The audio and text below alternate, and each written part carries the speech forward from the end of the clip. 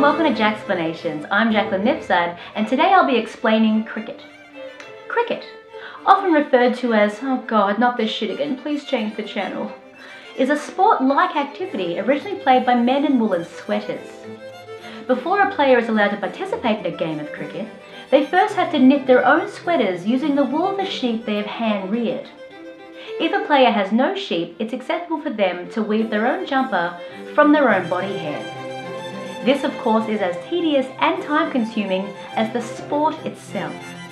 Once properly dressed, the players assemble on a small patch of grass, talk about current events, and have freshly baked scones thrown at them as the opposition tries to catch them on handcrafted plates. Once 10 scones are caught, they then move on to jam, then cream, then break for lunch.